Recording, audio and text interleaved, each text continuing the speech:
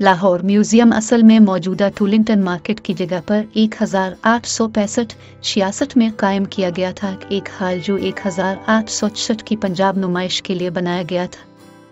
मौजूदा इमारत एक हज़ार आठ सौ सतासी में मलिका विक्टोरिया की गोल्डन जुबली की यादगार के तौर पर तामीर की गई थी और इस मौके पर इकट्ठे किए गए खसूसी अवामी फंड के ज़रिए माली एनत फराहम की गई थी। नए म्यूज़ियम का संग बुनियाद 3 फरवरी 1890 को शहजादा Albert Victor, Duke of Clarence Malika Victoria के पोते ने रखा था। एक हज़ार आठ सौ चौरानवे में उसकी तकमील पर म्यूज़ियम का पूरा मजमुआ मौजूदा इमारत को इसके नए नाम के साथ जुबली म्यूज़ियम में मुंतकिल कर दिया गया।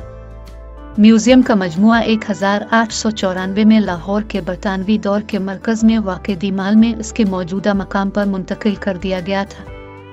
मौजूदा इमारत भाई राम सिंह और जॉन लॉक वुड किपलिंग ने डिज़ाइन की थी दस। रूडयार्ड किपलिंग के वालिद, John Lockwood Kipling, museum के पहले कटोहे में से एक थे और उनके बाद के एन सीताराम ने उनकी जगह ली। 1948 में पंजाब की तकसीम के एक हिस्से के तौर पर म्यूज़ियम के नवादरात को पाकिस्तान और हिंदुस्तान के नौ तश्कील शुदा ममालिक के दरमियान तकसीम कर दिया गया था। इस म्यूज़ियम ने अपने जखीरे का तकरीबन 60 फ़ीसद हिस्सा अपने पास रखा हुआ था। बाकी हिंदुस्तान को दे दिया गया और बिलाखिर चंडीगढ़ के गवर्नमेंट म्यूज़ियम और आर्ट गैलरी में रखा गया, जो खास तौर पर इस मकसद के लिए बनाई गई थी, ग्यारह। अजायब घर के सुनहरे साल 1970 से 1990 तक समझे जाते हैं, जब स्कॉलर माहिर आसार कदीमा और म्यूज़ियम के माहिर डॉक्टर सैफ रहमान डार उसके डायरेक्टर थे।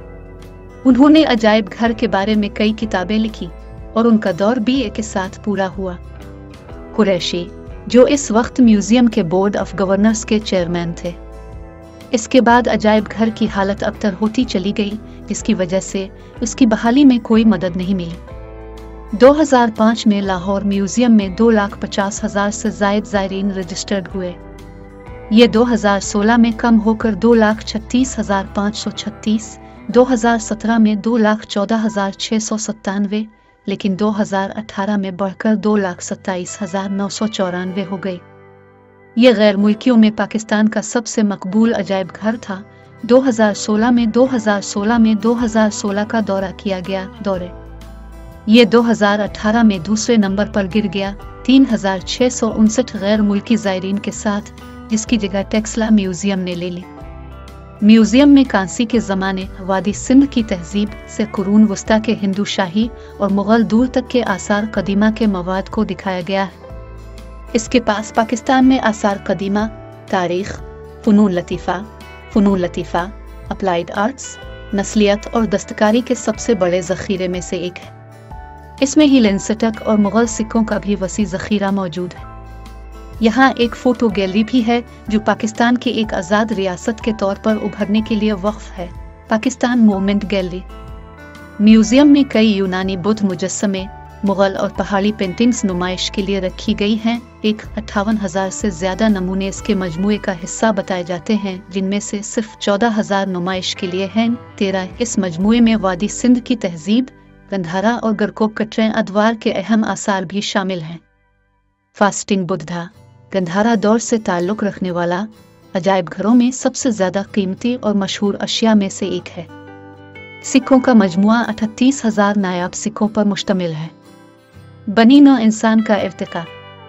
दाखिली हाल की छत में दी इवोल्यूशन ऑफ़ मैकानेट की खसूसियात है। एक बड़ी दीवार अड़तालीस पैनल्स पर मुश्तमिल है। हर एक की पैमाइश छः बाई आठ फुट है। इसे पाकिस्तानी मुसविर सादकैन ने पेंट किया था, जिसने असल में इसे एक हज़ार नौ सौ तिहत्तर में मुकम्मल किया था। मौसम की खराबी और दीमक के हमलों के बायस दीवार को कई सालों में काफ़ी नुकसान पहुँचा। बहाली का काम शुरू करने के लिए गवर्नर पंजाब ने 2008 में ग्रांट की मंजूरी दी थी। इसे 2010 में हटा दिया गया था, जबकि बहाली का काम 2012 में शुरू हुआ था। 2018 तक उज़मा उस्मानी और मुमताज़ हुसैन ने पैनल्स में से 16 को बहाल किया था।